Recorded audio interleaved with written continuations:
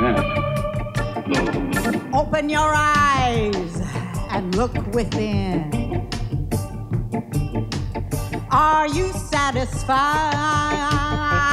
with the life you're living? We know where we're going. We know where we're from.